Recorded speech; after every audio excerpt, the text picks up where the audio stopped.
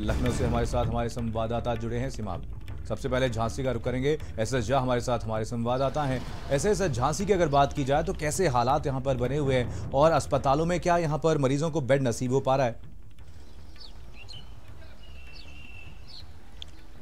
देखिए झांसी के हालात बहुत ख़राब हैं चाहे आपका सरकारी मेडिकल कॉलेज हो चाहे आपके प्राइवेट हो। मरीज़ को भर्ती करने के लिए लोग परेशान हैं।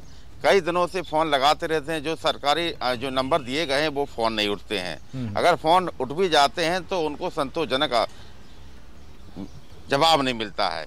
लेकिन आप देख सकते हैं कि मौतों का आंकड़ा झांसी में बड़ा है। अठारह लोगों की मौत हुई है और जिस तरीके से 910 जो 24 घंटे में केस आए हैं तो कहीं ना कहीं लोगों में डर का माहौल बना हुआ है।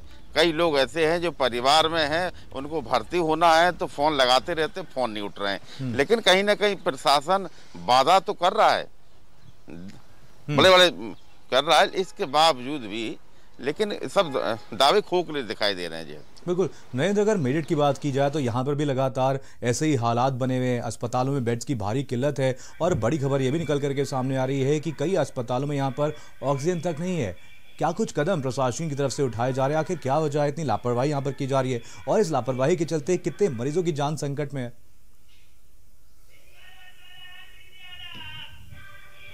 देखिए अब मनीष ये जो ऑक्सीजन की प्रॉब्लम है ये पूरे देश की प्रॉब्लम हो सक हो चुकी है और चौबीसों घंटे ये प्रॉब्लम अलग अलग जगहों पर अलग अलग रूप में मौजूद है हम्म। मेरे पीछे जो आपको अस्पताल दिख रहा है इस अस्पताल में अब से करीब एक घंटे पहले गैस खत्म हुई और उसके बाद जो अस्पताल का प्रशासन था उसने एक मैसेज फ्लैश किया तब पता लगा कि यहाँ पर 40 मरीजों की जान जो है वो आफत में पड़ी हुई है हम्म। भारत समाचार पर खबर का प्रसारण किए जाने के बाद जिला प्रशासन ने इसका संज्ञान लिया और पाँच केवल मात्र हम्म। पाँच जो ऑक्सीजन सिलेंडरों का इंतज़ाम फ़िलहाल कराया है चालीस मरीज़ इस अस्पताल में भर्ती हैं और हम्म। जो इस अस्पताल का ट्रक है पूरी रात खड़ा रहा वहाँ पर बिजोली प्लांट के बाहर लेकिन गैस यानी ऑक्सीजन गैस जो है उसकी उपलब्धता नहीं हो पाई हम्म। अलग अलग अस्पतालों में यही सारी दिक्कतें बनी हुई हैं कल न्यूटमा अस्पताल में पाँच लोगों की मौत हुई हम्म। और ये बताया गया परिजनों के द्वारा कि ऑक्सीजन मुहैया नहीं थी इसीलिए उनकी मौत हुई लेकिन अस्पताल प्रबंधन और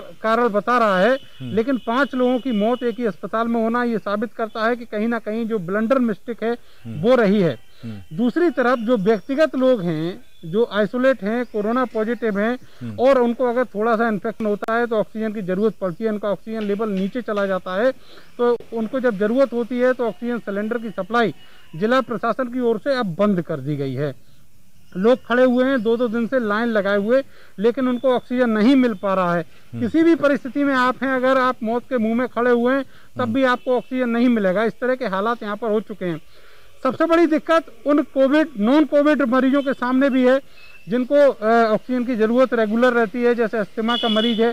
आप जानते हैं कि वो बिना ऑक्सीजन के नहीं रह, रह सकता। हाँ। दिन में कई बार उसको ऑक्सीजन का सहारा लेने की ज़रूरत होती है। लेकिन इन सब चीज़ों को इन सब तथ्यों को दरकिनार करते हुए जिला प्रशासन की तरफ़ से दो कमियाँ हो रही हैं।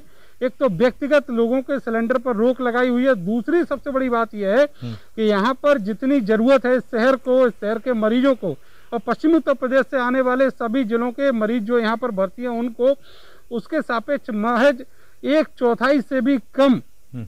जो ऑक्सीजन की सप्लाई है वो जिला प्रशासन मुहैया करवा पा रहा है। आप समझ सकते हैं कि कैसे हालात हैं।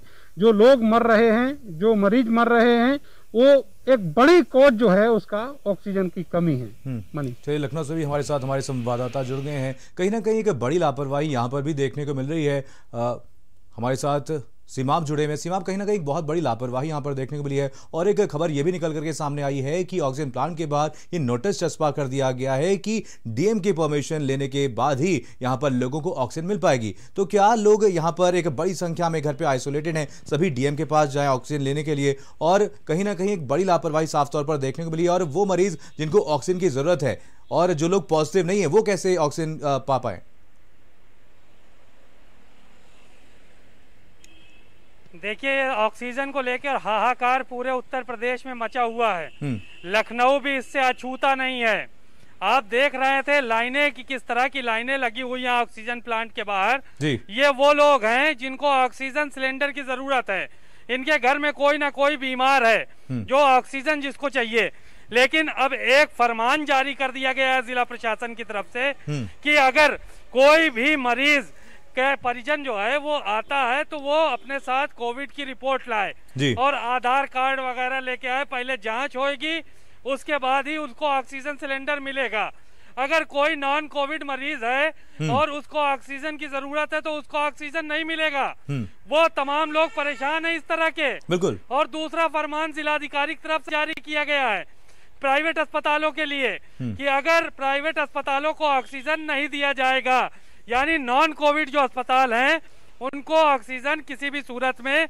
नहीं दिया जाएगा पहले कोविड अस्पतालों को दिया जाएगा हम्म। और अगर कोई ऑक्सीजन वाला मरीज़ जिसको दूसरी बीमारी है और ऑक्सीजन की ज़रूरत है हम्म। वो प्राइवेट अस्पताल में भर्ती है तो वो क्या करे हम्म। उससे कहा जा रहा है कि घर से ऑक्सीजन लेके आओ ऑक्सीजन लेने के लिए परिजन लाइन लगाए हुए हैं हम्म। दो दो तीन तीन दिन से ऑक्सीजन सिलेंडर के लिए लाइन लगी हुई है लेकिन ऑक्सीजन मिल नहीं पा रहा है प्लांट में हम्म। प्लांट वाले बता रहे हैं कि लिक्विड नहीं आया है कल मिलेगा परसों मिलेगा।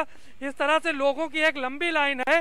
तो ये बेहद दुखद है कि ऑक्सीजन के लिए लखनऊ जैसे शहर में मारामारी मची हुई है हम्म। और जिला प्रशासन लोगों को ऑक्सीजन मुहैया नहीं करा पा रहा है मनीष। बिल्कुल चलिए आप सभी लोग नज़र में रखिए आप सभी से अपडेट लेते रहेंगे। फ़िलहाल तमाम जानकारी के लिए आप सभी का बहुत बहुत